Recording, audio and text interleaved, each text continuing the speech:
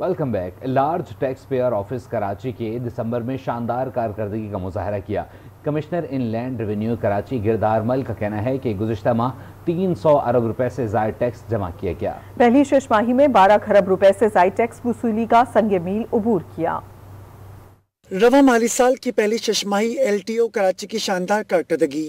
Commissioner inland revenue Girdhari मल की press briefing बताया जुलाई से दिसंबर 2023 के दौरान हदफ से जायद बारह सौ इक्कीस अरब रुपए टैक्स वसूल किया। दिसंबर में 300 अरब रुपए का संग मील अबूर किया।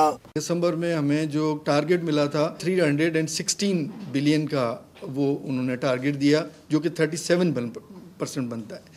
लेकिन रब्बुल इज़्ज़त की मेहरबानी से हमने 320 का टारगेट अचीव किया है, जो कि 39 परसेंट है।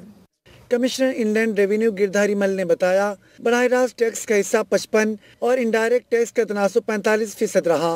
लास्ट ईयर वो फोर्टी सेवन डायरेक्ट टैक्सेस का रेशो था और इनडायरेक्ट का फिफ्टी थ्री परसेंट था।